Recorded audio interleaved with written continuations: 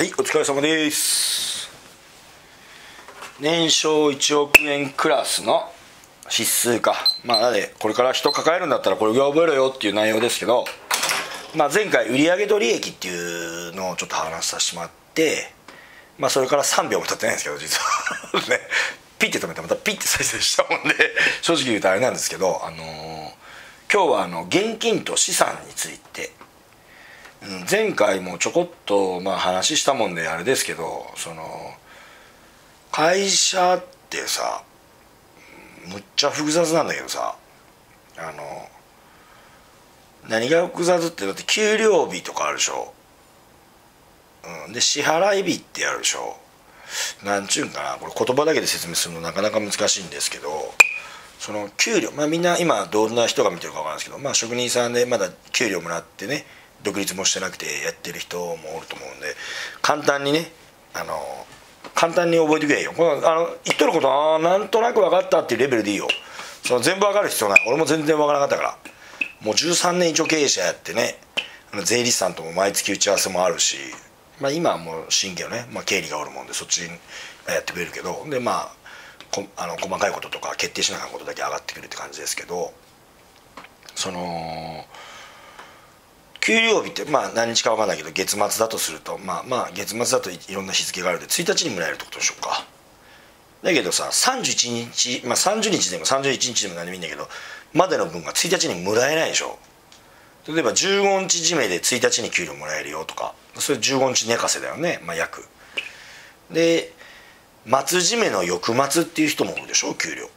でうちもそうだね。うちは何締め20日締めかな？20日締め15日払いかな。ってことはさまあ今まだ7月本当は31なんですけど、まあ、公開されてるのは8月3日とか2日ぐらいの予定かな？3日かな、うん、であのー、なんちゅうかな？8月の例えばまあ 20,、まあ、20日締めだとしたら20日まで働いたものが9月の何？10日？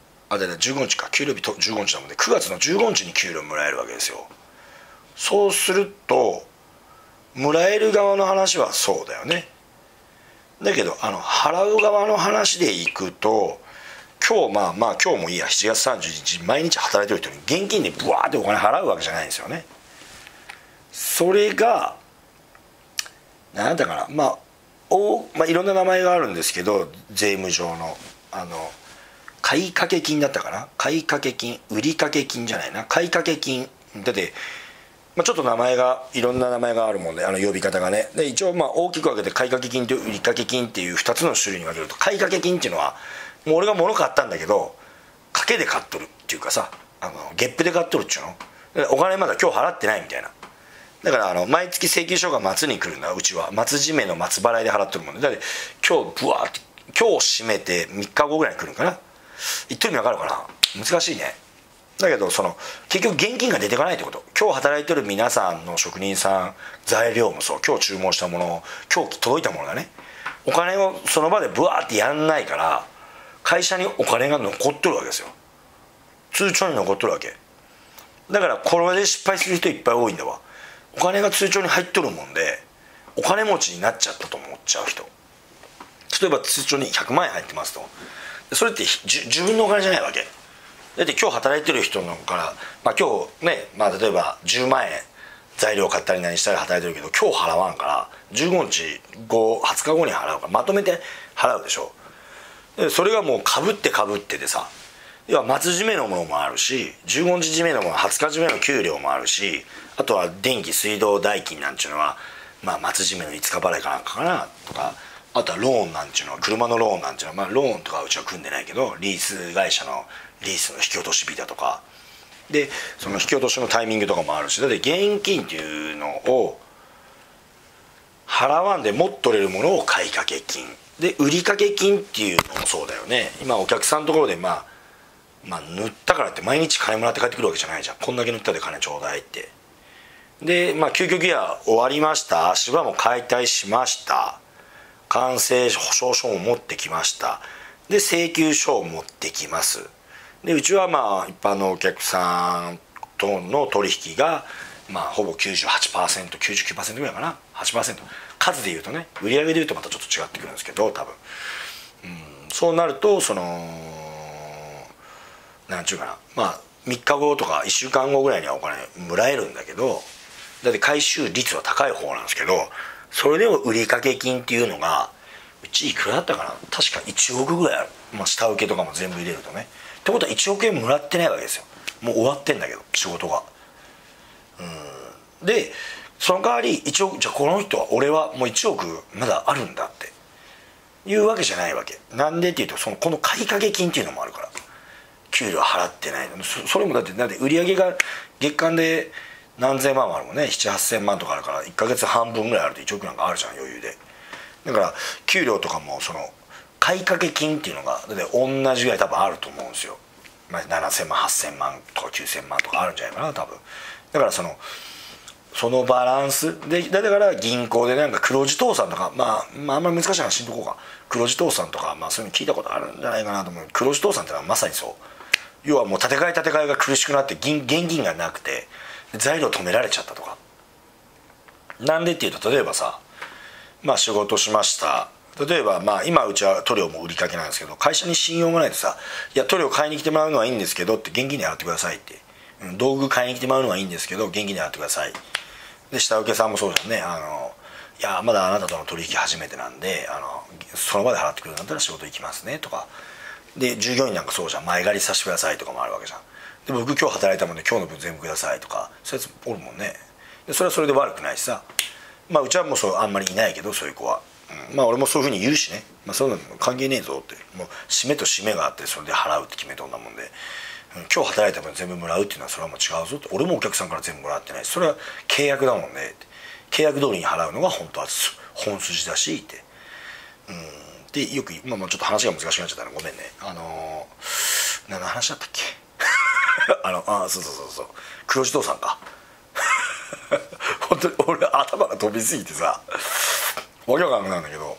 そうそう黒字父さんっていうのはまさにそういうことだよね。現金で戦えてるけどお客さんはあのなんか俺もそこまでの世界で働いたことない。まだねこんな規模だもんねね大きい企業だと3か月後とか逆にもう手形でもらうとか。で6か月後にしか現金になりませんとかね。すごくない？100億企業があったらさね月間まあ約10億なわけじゃん。でこれ6か月後に払いますってことは60億ぐらい立て替えなあかんだよ。お金を。そういうことでしょ？毎月6か月後にやっとこの10億が。まあ、10億入った10億入った10億入った10億入った10億入った10億入ったでこれ6回。でここの次の10億入るぐらいのタイミングでやっとこの6か月前の金がバーンって入ってくるんだもんで100億企業ってことは6か月キャッシュがまあ6か月後だったらや終わっちゃうよね、うん、まあ俺もそれ想像つかんけど。あのー、まあ、そういうのがあるらしい、まあ、でそれで手形みたいなのがあるでしょ。で手形がさ銀行持っていくと早くくれるとかさ。まあその辺、まあ、話すとわけわからなくなるで、まあ、やめとくけど、うん、だからこの現金とまあこれ究極はもうこれも資産なんですよ。売掛金買掛金っていうのも資産なんですよ。あのー、簿記あの簿記4級とかね3級とか俺結構も俺すげえね俺2級ぐらいまで持ってんだ結構すげえやつ持ってんだわ。あ準2級だったかな。2級だったかな。まあまあまあまあのクラス。あのテストでちゃんと受かってあの持ってる。うんまあ、勉強した。本当に結構勉強した。結構難しいよ。多分合格率数十パーセントみたいな。十数パー。まあそんなにないかな。簿記2級だったら結構レベル高いよ、うん、でもう本当にあの税務署税税理士さんとかでも持ってない人いるからねもちろん。で1級持ってたらもう税理士の免許なのかな？違うのかな？俺よく分かんないけど。でそれぐらい2級も相当レベル高いと思うんですけどあのー4級とかだったら本当にどうかな？毎日1時間毎日1時間勉強だとちょっとイメージが分かんない週3回にしようか。週3回1時間勉強して本当は毎日の方がいいんだけどね。俺のコツはあの毎日なんだけど。あのやめるとやめちゃう。で あの毎日30分ちゃんとやるとか。本も僕最近あんまり言わなくなったけどあの本も昔はもう経営者やってる。やっぱ45年ずっとちゃんと読むように。やっぱ勉強しながんっていう意識が高かったから中学校しか出てないしってだから毎日読もうって。だって30分でもいいから毎日読もうって決めて。結構ねやらなくなるとプワーってやらなくなっちゃうから。うん、まあまあそんな話はどうでもいいかもとももうお前本筋戻れやってちょっとコメント書いていつもお前 無駄話すんなって書いてください、うん、でそうそうそう。税理士の4級を、まあ、毎日30分ずつやったらにしようか。毎日30分ずつやったらどうだろうな。多分俺20時間ぐらいやりゃ、うん、まあほんと簡単だよ。でもねもうそれで十分なことかもしれん。あのー、4級取ったら十分すっごい人生変わるぐらいあの世の中のことっていうかその、うん、会社のことがすっごい分かるよ。その入り口でもうほとんど9割のことが分かる。そのね技術的には本当深いこと。で塗装もそうじゃん。例えば、まあ、1年やったらまあ9割って言ったら失礼だけどそのこの残りの1割がすっごい難しいわけじゃん。そのねハケの使い方だとかそういう世界でもある程度のとこまでできるみたいな。なんかお寿司でもそうでしょ？俺あるまあまあ塗装で言うとさそのなんか職人さんに怒られそうだもんね。まあ他のことで言うよ。あの俺アトムボーイってあのあ知らんか。これ全国で見るで知らんわ。あのお寿司屋さんの回転寿司で俺アルバイトしたことあるんですよ。まあ本当若い時もう16とかより前前前って言ったかな？16だな。に回転寿司で俺、まあ、結構そういうの触るの好きだったから結構やらしてもらったりでな残ってその先輩とかに教えてもらったりしてやっぱ家で結構寿司作ったりさでまあ刺身切るのとか難しかったけどね。だけどなんちゅうの、まあ、9割って言ったら失礼だけど7割ぐらいのとこまでは、まあ、まあできるわけよある程度。はでそっから難しい世界。ってあるじゃないですか。もうこの魚さばくのは難しいとか。でも大体7割の魚はもうさば、まあ、くは無理だけどもちろん。そんな回転寿司でちょこっとアルバイトしたぐらいじゃね。だけどまあ本当にそんな世界でまあ簿記も、うん、やると俺は人生変わると思うけどな、うん、でまあ自信にもなるしね。自分の。だから簿記4級なんかは取るといいんじゃないかなと思いますよ、うん、かな。まあ今日はそんなもんでしょうか。あいかんかんいかん。いかんか。んそうか資産と現金の違いだもんね。いかんわ俺全然喋ってなかった。で資産。あそうそうそう。だから現金はまあそうです。今通帳に入ってるものが現金。まあ究極は現金じゃねえか。通帳に入ってるやつはあの預金か。だって預金現金みたいな。もう大きく分けて現金預金ですそれが。で資産の話を全然してないね。で資産の話っていうのはなんかもうキルモードになっちゃったちょっとエネルギーがシューってなっちゃったけどあの資産っていうのはなんだろうなもうパワーが出てこんがってきた。あのそうそうああそうそうそうちょっとちょっとちょっとカンニングさせて。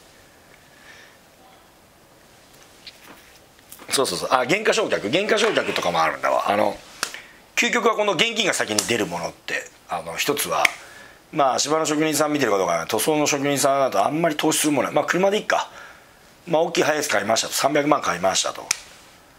うん。で300万買ったら、まあ、もちろん現金パーン出てくるじゃん。300万円ね。車に払うでしょ。だけど経費になんないんですよ。だからだから今年300万儲かったで300万のくああのハイエース買おうと、うん、で300万の経費にならないんですよ。言ってるのかなかなその300万のじゃ車買って、まあ、もし新車だったらちょっとこれネットで調べてもらって車原価償却とかって打つと出てくると思うんであれですけどあの4年だったか6年だったかでその定率をそれは税理士さんがなんかいろいろ決めてくれるけどその20万円以上の資産については一括償却をしない。だって1回で経費に入れれないってこと。で究極はその、まあ、ビデオカメラまあビデオカメラなんか安いか、まあ、パソコンなんか20万超えるやつあるじゃん。そうするとじゃあもう今年儲かったもんでパソコン3台買っとこうとかやったってもうダメなんだわ。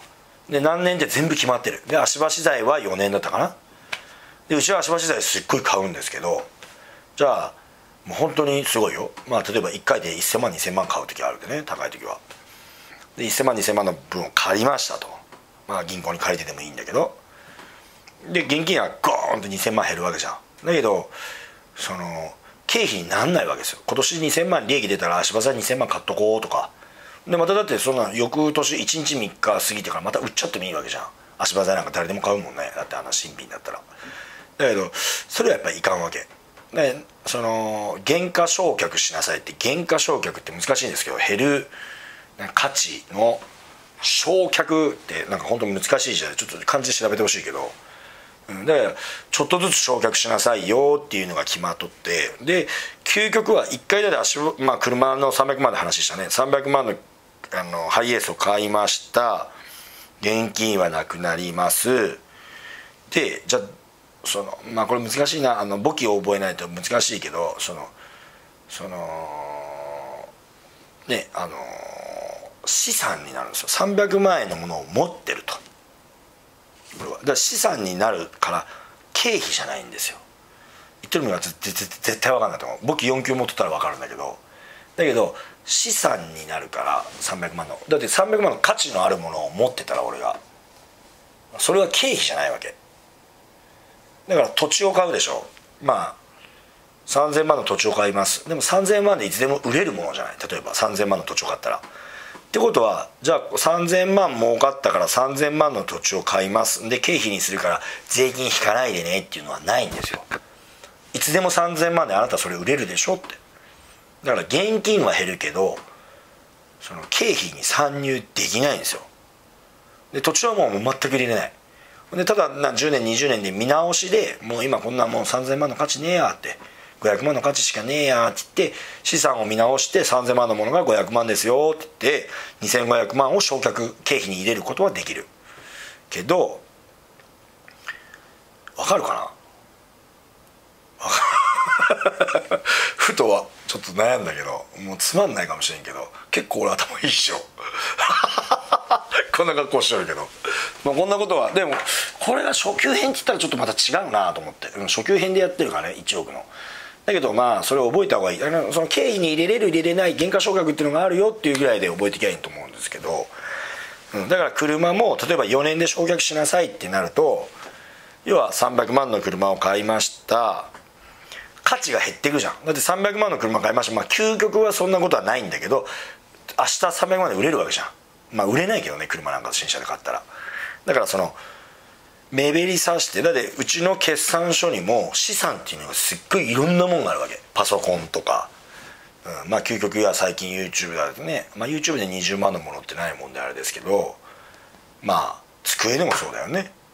あの焼却。事務所の内装改装費もそうだよね。これ事務所結構めちゃくちゃね綺麗にしたんですけどそれも事務所なんか何年だったら20年とか30年ぐらいしかない。ね30年ぐらいしかない。まあ死んどるわっちゅうのね。あちょっとごめん間違えてるかもしれない10年ぐらいやったかもしれないで建物もそうだね。建物は焼却できる。いつかゼロになるっていう計算で例えば10年20年30年って。新築だったら30年とか多分あると思うんですけどそれは経費に認められますよっていう。だからその分だけ経費に入れれるわけ。結局。だって現金とその資産っていうのは全くそこに線があるんだわ。お金はもうお金。だって利益とお金って全然違うわけよね究極は。でね経費っていうのまあもうこれなんかそんなやつあんだなグラフみたいなのあるでまあそれ見せたりなんか喋ってりゃよかったなごめんなさいね。うん。だからうんまあまあ難しく考えんでいいんですけどもうどれ喋っちゃったね。ごめんね切るつもりだったけど。18分になっちゃったんですけどねあのー、まあうん。これからまあ会社やろうとか独立しようとか独立してる人親方であのねまあこれ聞いてて俺まあ一個これ最後言おうかじゃあ。あのその申告してない人。うんこんな僕申告してないですってコメント書けんと思うんですけど申告してないってことはもう脱税だけどあの職人結構多いでさ俺聞いてると。まあねあの一つはその申告した方がいいっていうのはあの法律ってちゃんとできてるからそのなんいつか絶対来るしあの一人親方でも来るからね。あのちなみに俺の関係先でも、まあ、自分一人でやってた人で毎月ちゃんと請求書書いてても来た人いるうちのね下請けさんでもおるし。だからそのうちももう今もう協力業者とか下請けのも確定申告しろよって。だけどねその税金ってビビることない。そんな持ってかれない。で何って言ったら売り上げあって本当にそんな別に儲かってないじゃん職人って。儲かってないじゃんって言ったら失礼だけどそのねあの売り上げがね毎月あってまあ売り上げ100万だとするじゃん。毎月ね後輩1人使うと。でもそいつに給料払う飯代もあるガソリン代もある車も買ってるわけでしょ、うん、でまあこれはギリギリのとこだけど、まあ、奥さんに給料上げて手伝ってもらったんだったら奥さんにも給料上げれるしで月10万ぐらいまで非課税って言って税金かかんないんだわ、うん、で奥さんにも給料もちろん上げれるし、うん、そうするとまあグレーなこと言うよ、まあ、これはちょっと本当にグレーだからね。俺がやってるかやってないかとかそういう話じゃなくて奥さんと、ね、手伝ってもらってる、まあ、何でもいいや。友達でもいいんだけど10万払ってちょっと書類の手伝ってって言った人たちと、まあ、ご飯食べに行ったもの。レシートに誰と面識に行ったって書いてないわけじゃん。ね、でまあその人たちとご飯食べに行ったとする。それはもう経費認められるからね。もちろん。うん、で究極はそうだよね。あのまあ俺がこの一人で買ってるジュースなんか認められんかもしれんけどみんなにペットボトルジュースあの領収書なくてもあの認められるから別に領収書の提出義務っていうかだって領収書出ないもんなんか世の中いくらでもあるしなくなっちゃってもねあと割り勘とかもあるじゃん。例えば俺と飲みに行ってね、元請けさんと飲みに行って愛子1000円ずつ回収っていう経費も全部認められる。で結婚式行ったし知り合いでもいいよ。あの元請けさんの結婚式呼ばれたとかね、そういう誕生日会とかあるでしょ？あの職人好きじゃんそういうの。でそういうの呼ばれたとかでも全部紙に書くだけで経費が認められる。もう当たり前に認められるよ。だから自分で申告する個人でやっとりゃまあ抜け穴っていうのが適正な言葉か分からない。それよりもあの申告しない方が俺はよっぽど悪いやつだと思うからまあだから俺は申告した方がいいと思う。でそのねあのカッチカチにする必要ないからある程度。だって車の洗車もそうだもんね。経費だもんねだって。だから究極は経費って結構なものが認められるからね。だって俺もそうじゃん。例えばパソコン買って、まあ、家で使っとったら家俺が買っとるパソコンは半分は自分のもんで半分は会社のもんやねえかみたいなね。プライベートでも使うから。でまあそんなこと俺本当に、まあ、してないって言ったら明日税務署来たら嫌なのでまあまあそれは濁しとくけど。まあ言ってる意味は分かるでしょ？でそういうもんですよ。だからうんまあ難しいなこれな。でも伝えてあげたい。なんかそうそうそう。だから絶対に申告はした方がいい。そんなもう本当にまあ究極は税金ゼロにできる。まあこういう言い方するとあれだけど。究極申告してゼロっていうのはもうクリアだからね。でその代わりその所得がゼロってことだからね。まあないし10万円以下はあの所得税かかりませんだから10万円以下しか所得がないですよって言っとりゃあの所得税はゼロだけど、うん、まあ究極はもうそれ社会的信用ないわね。あのもし会社でお金銀行さん貸しくださいって言ってもお前その年収120万の人にお金ね、100万200万300万貸せるわけないでしょって言われちゃうで、まあ、そこは自分で考えていかなあかんことだで。まああれだけどでも申告してないっていうのがあの一番いかんし。だから俺は絶対に申告した方がいいと思います。だから現金持ってる持ってないも全然関係ないしね、うん、だからそうだね、まあ、伝わってるかな。伝わってほしい。まあちょっとめちゃくちゃ喋りすぎてるからすいません。